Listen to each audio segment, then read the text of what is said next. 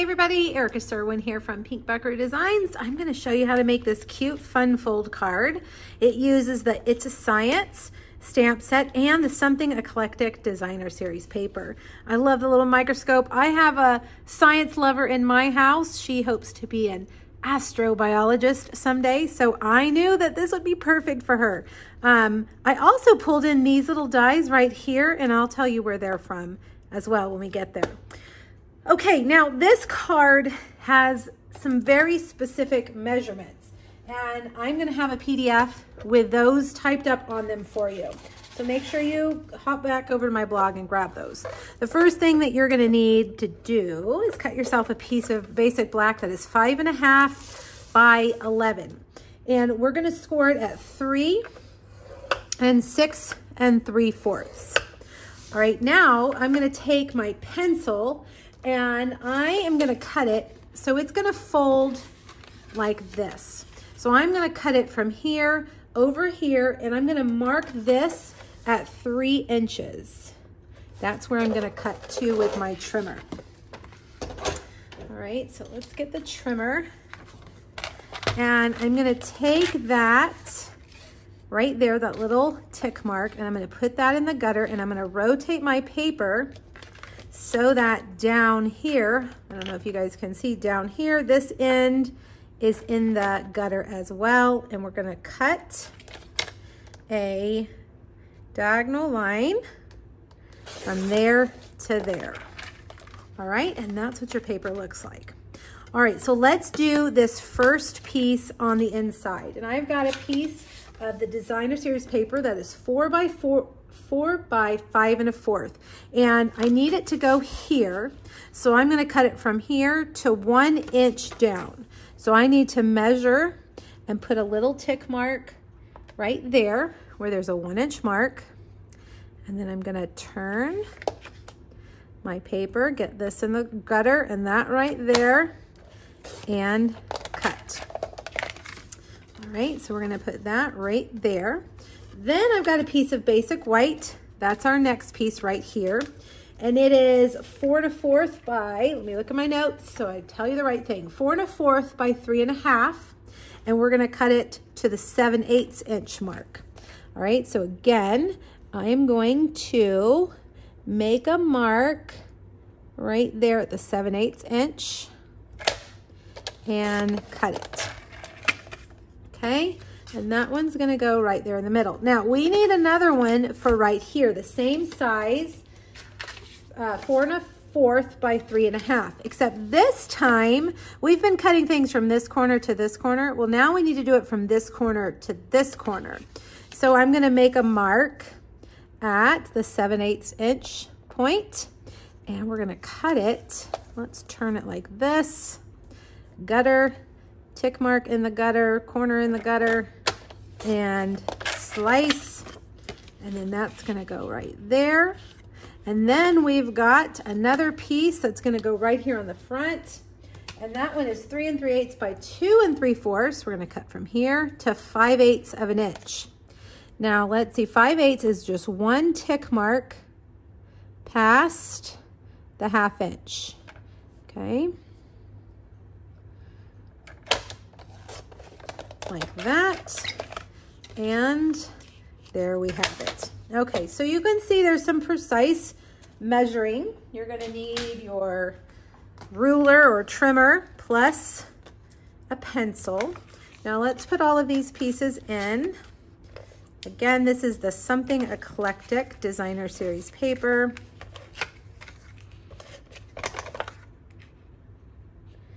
Put that right there. And we're gonna put our white piece right here. And our second black and white piece on the front,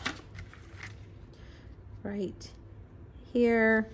And then we'll flip it around and put that last piece right here in the middle like that. All right, so that's what it looks like.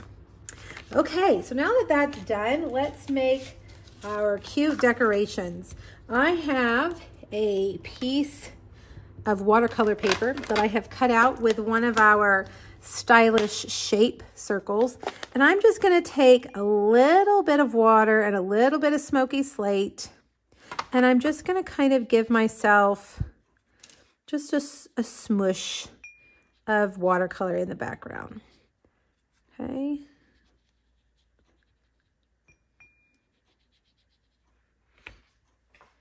Now, one thing I really like to do on my watercolor pieces, and I thought it would be good since this is kind of a sciency um, piece, is to put some, some uh, big salt chunks on there. It's going to give us kind of a really cool pattern. All right, so I'm going to set that aside and give it some time to dry. And in the meantime, we are going to stamp our microscope and we're going to color this with Stampin' Blends. And I just kept it simple. I am just using my smoky slate and I'm going to start with my light and I'm just going to color most of everything in with a light and then I'm going to come back with my dark and add in some um, some just variants, some shadows and make things a little bit darker. All right, so just go around and color it.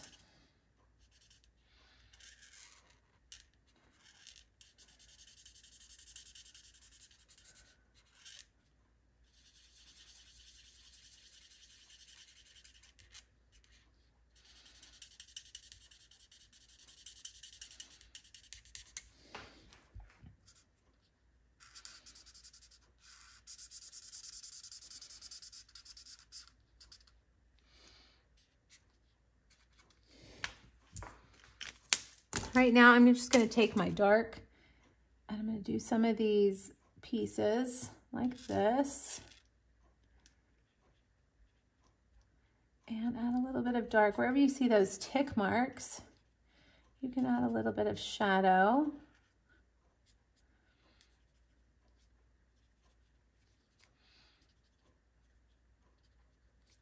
And then go back with your light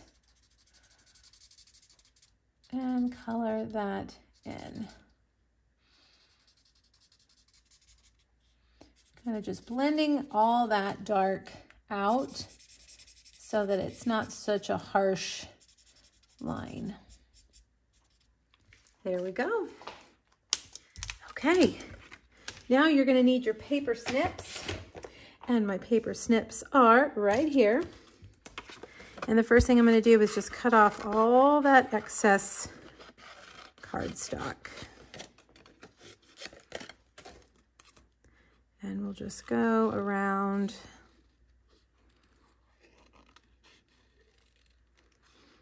Stay right on the outside edge of that black line and use your opposite hands to turn.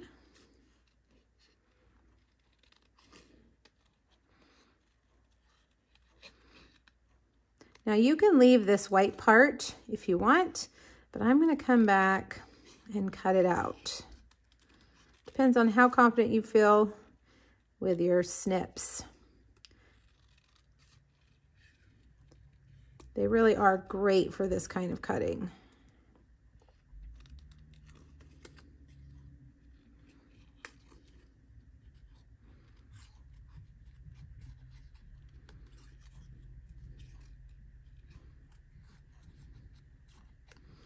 And the last one, if I can get it out.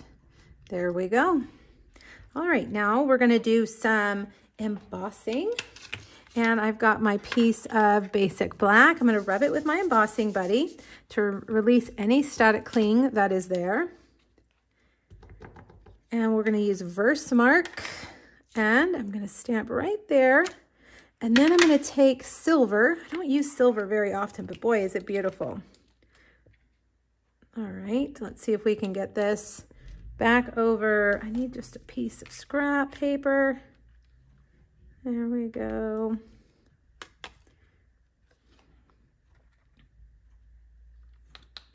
I need my tray. I don't have it with me. And if you use your reverse tweezers to hold it, you won't burn your fingers.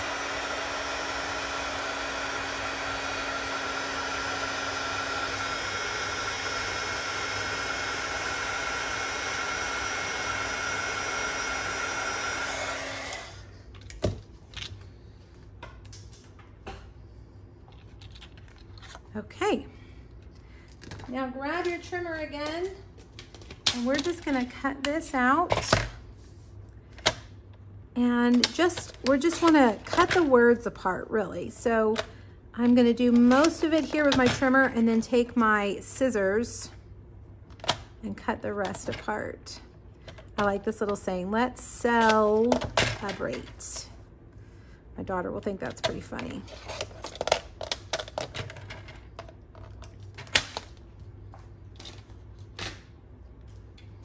All right, so then you're just gonna cut these apart like this.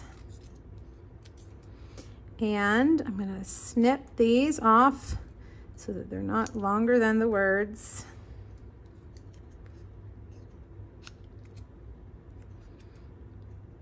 There we go. Okay, let's look to see how we are. We're dry and we can brush these little pieces of salt off. And then I'm gonna grab my smoky slate and I'm gonna stamp this fun little sciencey symbol on there like that. I'm gonna take my dark smoky slate and just kind of flick some splotches on there. And then we'll grab our microscope and let's put this on here with some dimensionals like that. And then we'll get the Let's Celebrate. And we're gonna use mini dimensionals for this.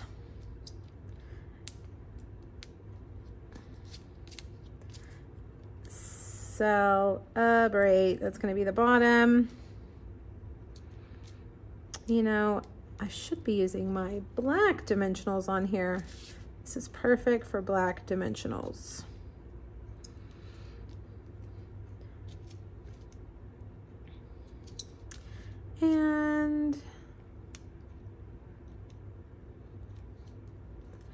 That off and we'll put this, whoops, let's sell a celebrate.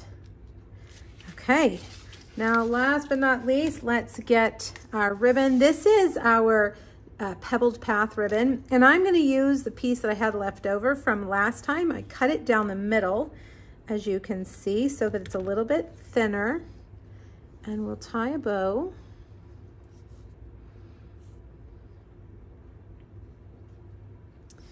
And let's make those ends even. Grab a mini glue dot and put that right there. Okay, now we've got a few other things that I added in. This is the these are the two pieces from the Chic Dies. This one right here. And I didn't take care of all those little doodads in the middle just because they're gonna mostly be covered up. So I'm gonna just lay down some adhesive like this. Kind of put it kind of wonky like that. Take some dimensionals, stick them right on the top, which will also help hold it in place.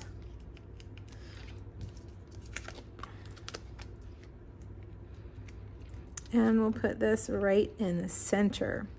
Now I've also cut out a couple of these and they looked kind of like germs to me. It's from Silver Foil, same chic dies.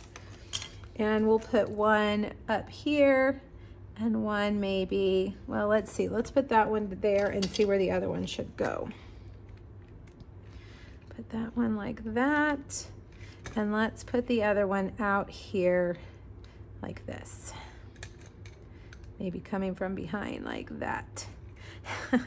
there you go. Okay, now one last thing. I do believe I stamped some of these on the inside. So we'll do one, two, and then three. And then We'll grab the It's Your Birthday, You Can Overreact right there. And there you have it, a kind of over-the-top fun fold for any science nerd in your family or someone you know. I have several science nerds in my family and they will love this card. All right, make sure you click the link here on YouTube, go back to my blog, grab that free PDF, and let me know if you have questions. Thanks, everybody. Happy stamping. Bye-bye.